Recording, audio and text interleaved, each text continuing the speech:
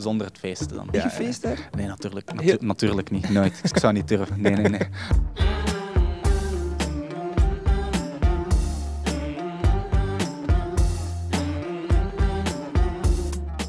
Dag Jonathan, Hallo. hoe gaat het met u? Goed, goed. Juist een goede training afgewerkt. We zitten hier nog in de powerzaal, dus eh, ik mag nog niet naar huis. Ja, ik heb het gezien, het ging er hard aan toe. Eh, ja, het zijn de laatste, de laatste beetjes waar we nu aan werken. Dus ja, we alle hens aan dek en ehm, voorbereiden. Hè. We kennen jou sinds 2018 en toen heb je een fantastisch jaar beleefd. Eh, kan je nog eens schetsen hoe dat eruit zag dat jaar? 2018. Ehm eerst een internationale wedstrijd bij, bij de senioren. En dan direct op een WK staan met de 4x4. Ik had daar zoveel schrik dat ik daar iets doms ging doen.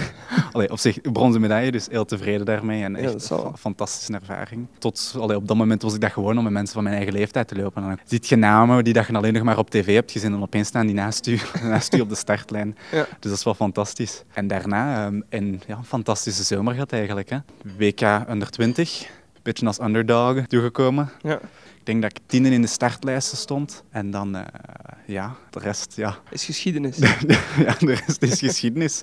Ehm, een heel fa- fantastische reeks en het bleef beter gaan in de reeks. En dan een halve finale Belgisch record gepakt bij de under 20. En dan eh die laatste rechte lijn, ja, dat blijft nog altijd die laatste, echt, die laatste 100 meter. Dat is nog altijd iets, een video die dat ik moet herbekijken om zo wat in de moed te geraken voor een wedstrijd.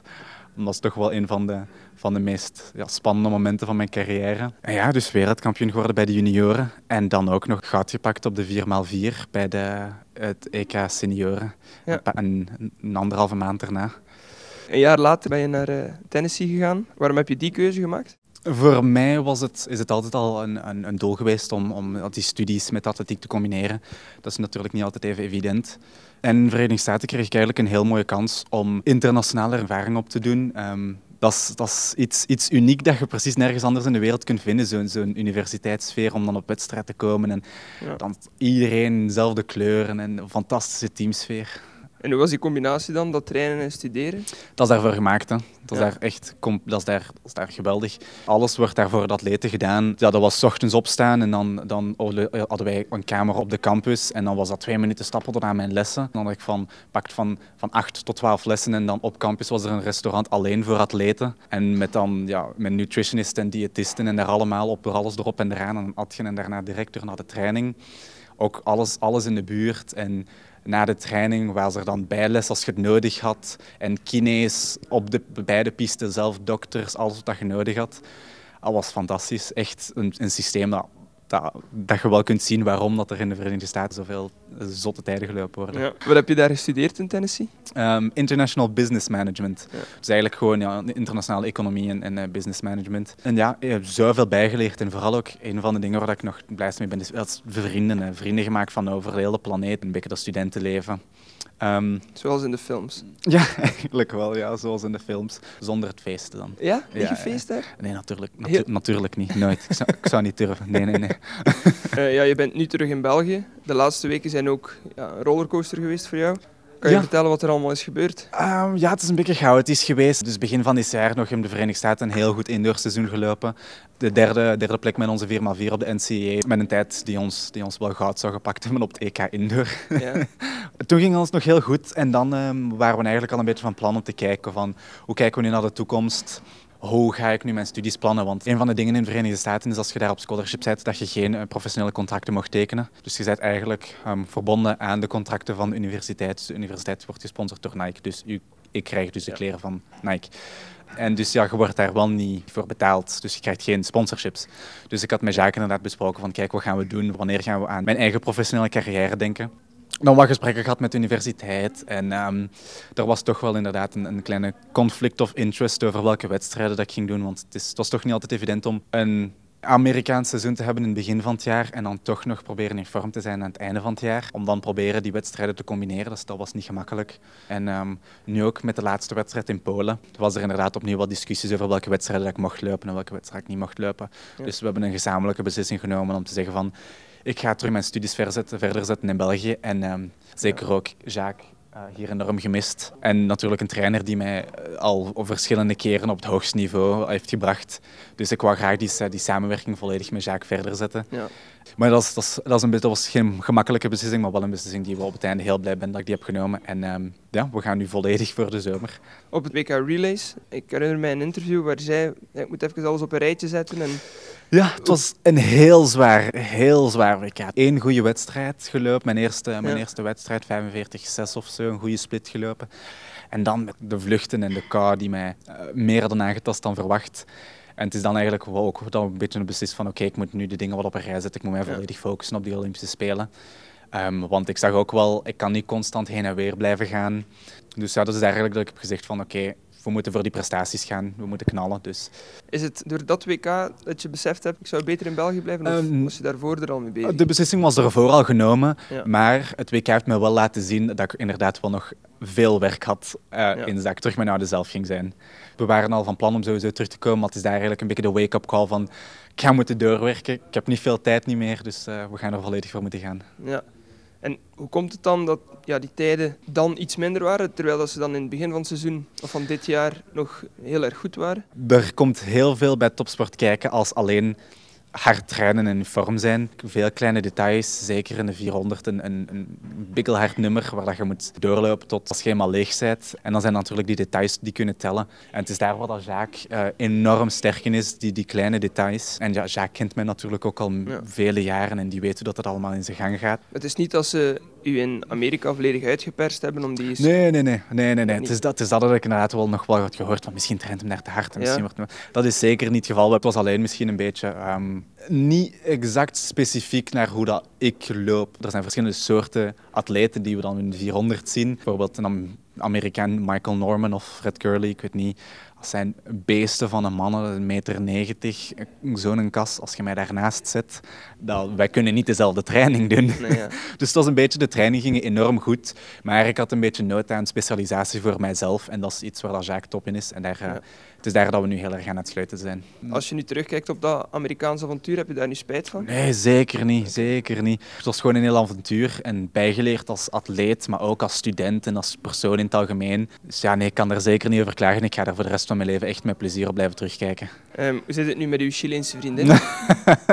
uh, um, heel goed. Um, zij is nu uh, momenteel in Ecuador voor het uh, South American Championships, waar dat zij zich gaat proberen te kwalificeren voor het Olympische Spelen nog. Dat zou normaal gezien wel lukken. Mm -hmm. Ja, ze doet het ook fantastisch. Zij heeft nu ook dus haar studies daar afgerond en uh, ze heeft ook al een, een, paar maanden met Jacques getraind. En ze, okay.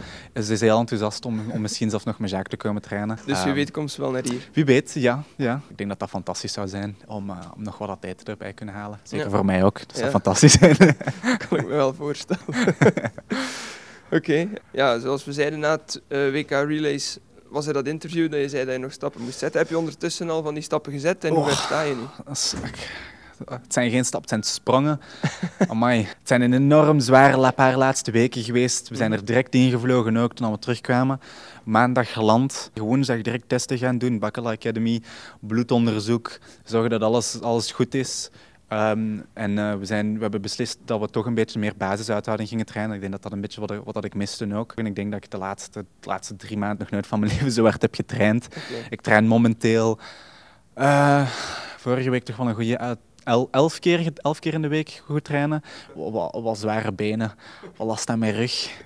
Voor de rest, um, ik slaap goed, ik eet goed, dus ik mag niet klagen zeker. Um, ik amuseer mij op training. Ik denk dat nog een van de dingen is dat wel altijd heel belangrijk is. Ja, je bent een 400 meter loper. Kan je uitleggen hoe lastig het is om zo'n 400 meter te lopen? Dat is een sprintnummer, want soms ja. zeggen ze dat is middle distance, dat is het dus niet. Dat is puur sprinten. Ja. En dan gewoon wie dat op het einde het, het minste doodvalt, dat is meestal de persoon die wint. Die laatste 50 meter, dat is sterven. Dat is alles dat verzuurt, alles dat verkrampt, elk spiertje dat je voelt. En dan proberen dat het er mooi blijft uitzien, zodat je niet stilvalt. Daar zijn we zelfs nog mee bezig dan. Daar zijn we nu aan het sleutelen, inderdaad. Hoe belangrijk is techniek voor een 400 meter loper? Voor mij enorm belangrijk. Voor mij, ik ben een, een, een, een loper die, um, voor dat velen zeggen van, oh man, dat ziet er gemakkelijk uit ook al van binnen, ik ben aan het sterven. Maar voor mij inderdaad, als ik goed wil lopen, als ik snel wil lopen, ik moet, moet ik efficiënt zijn. Aangezien ja. dat ik niet de snelste of de sterkste loper ben. Dus voor mij, mijn loopstijl, is het vooral heel belangrijk om zo snel mogelijk te gaan met zo min mogelijk energie. En het is daarom dat de mensen meestal zeggen dat ik een sterke laatste rechte lijn heb. Ja. Had je eigenlijk met Jacques op voorhand besproken ook dat je naar de VS ging gaan? Tuurlijk is Jacques daarmee op de hoogte, anders zou Ja. het nooit, eh, nooit, nooit zijn gebeurd. Dus eh, ja, nee, als ik Jacques zijn, eh, zijn vertrouwen niet had gehad, dan zou het natuurlijk nooit zijn Ja. geweest. Ik denk dat we allemaal Jacques wel kennen. Jacques zijn wil is wet en als we niet luisteren, dan gebeurt het niet. Dus, Die spelen, voor welke disciplines ben je allemaal geplaatst daar? Ehm, dus momenteel eh, voor de 4x4 zijn we inderdaad al gekwalificeerd. Ja. En individueel ehm, in atletiek gebruiken we dus de world ranking. Mhm. Dus een puntensysteem dat wij nu tellen. Ik denk dat ik momenteel, ik heb al een tijdje niet meer gekeken, maar de laatste keer dat ik heb gecheckt stond ik 27ste. Ze nemen top 48 mee. Dus normaal gezien zit ik wel veilig. Normaal gezien zit ik wel veilig voor de individuele kwalificatie. De individuele limiet is 44,9. Enorm zwaar limiet om te lopen. Er zijn niet veel mensen dat dan in Europa dat, dat gaan doen, denk Ja. ik.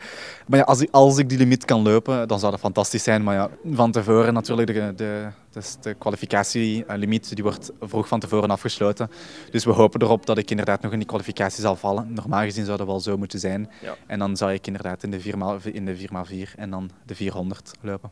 Ben je sowieso zeker ook van die plaats in eh, de 4x4? Je bent nooit zeker van je plaats in de 4x4. Oké. hè. Als ik hier morgen van de trap val en eh, ik breek mijn been, ja, dan ga ik ook sowieso niet. Ja. Dus, en er zijn natuurlijk ook andere atleten die enorm graag in de 4x4 willen zitten. Dus dan, dat blijft natuurlijk, je mag nooit ervan uitgaan dat je in dat team zit. Maar je hebt er wel vertrouwen in. Dat je... Ik heb er volledig vertrouwen in dat ik daar wel zal staan. Het is misschien ook de laatste kans voor deze 4x400. Dat team is altijd in, in beweging. Daar Ja. komen altijd nieuwe leden, nieuwe leden in en uit. Ik denk dat het al lang geleden is dat we hebben gezien dat er een, een team is, dat, gelijk de Borlees, dat die al tien jaar in dat team meedraaien. Ook al is deze misschien inderdaad de laatste spelen met het, het, het, de vaste waardes die dat we al zo lang hebben gezien in Kevin en Joe. Heb ik er vertrouwen in dat dat team naar de toekomst ook wel nog sterk zal blijven. Het is hopelijk dan dat ik dan ik misschien ooit die vaste waarde kan worden. Wie weet, wie weet. Ik weet nog goed. Ik, heb, ik had nog foto's ehm, voordat ik, toen ik het met de eerste keer hier kwam trainen. Dat is vier jaar geleden nu. Dus dan had ik nog het jaar daarvoor had ik dan nog eh, op een wedstrijd waar dat Kevin en ook waren, dat ik daar dan naartoe was gegaan om, om foto's te vragen te samen doen, om dan mijn t-shirt te signeren. En dan twee jaar daarna loopt je samen in dezelfde 4x4. Dus dat gaat allemaal wel snel. Ja. Wie zijn de grootste concurrenten op de 4x400 voor jullie? Groot-Brittannië, ehm, Nederland, Verenigde Staten, Polen en dan Trinidad. Trinidad en Tobago, ook een heel sterk land die we vorige jaren hebben gezien. En dan wij natuurlijk, de Belgen. En op de 400? Wie Op de daar 400? echte toppers? Ehm, opnieuw, de, Ameri- de twee. Ik denk dat de twee Amerikanen momenteel de twee topfavorieten zijn. Fred Curley en Michael Norman. Ja, dat zijn natuurlijk de, de, sterkste, de sterkste mannen. Maar ja, dat zijn mannen die, die gaan proberen 43 laag te lopen. Dat zijn voor mij misschien nu wel tijden ik uitstel tot en met 2024. Als we dan misschien nog een interview doen, dan kan ik misschien zeggen van ja, ik, ik hoor daarbij. Eh, maar nu voor mij individueel is het doel om zo ver mogelijk te geraken. Ik ga daar naartoe met de, de mindset om te zeggen van ik wil gewoon een nieuw record. Ik wil eindelijk in die 44. Ik zit nu al zo lang op dat randje. Dat, voor mij, dat, is, dat is voor mij het hoofddoel. En eh, wat, waar dat ik geraak met zo, of ik nu een finale plaats of een halve finale plaats of wat dat er ook gebeurt, zolang dat ik eh, het beste kan laten zien van mijzelf, ga ik content zijn.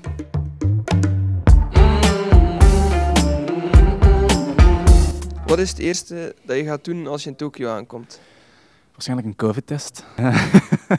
Eerst de jetlag afslapen en dan, ik weet niet of ze ons gaan toelaten om sushi te eten eigenlijk. Waarschijnlijk wel. Wat zijn de dingen dat je nog naar uitkijkt in Japan? Die Olympische sfeer. Het gebeurt niet vaak dat al zoveel sporten tezamen zijn, om dan echt een, een Belgische sfeer te hebben. Dat, Ja. dat is iets waar ik enorm naar uitkijk. Welke sushi ga je zeker eten daar? Ehm, sashimi. Eh, zalm. Ja. Welke Belgische atleet wens je zeker een medaille toe als je één iemand eruit moet kiezen? Teamsport, zeker eh, de Belgian Cats. En dan individueel, ja, Nafi. En dan om af te sluiten, spreek je al een woordje Japans? Nee, eigenlijk nog niet. Daar heb ik nog niet aan gedacht, want nu ben ik een Frans met Jacques, Nederlands, Engels in de Verenigde Staten en dan Spaans met mijn vriendin. En Oh. dan nu komt Japans er ook nog een keer bij. Misschien nog wat Japanse lessen s'avonds thuis. Duolingo of zo. Ja. Kijken wat ik nog kan leren. Alright, kijk. eh, super bedankt voor je tijd en eh, ik wens je gedaan. alle succes toe daar. Dankjewel. Graag gedaan. Pan. Die aardbeien en druiven neem ik aan. Dat is niet slecht. dat is een goeie. Pikachu zit er precies van niet zo content uit. Ja, dat is niet slecht. Goeie recup.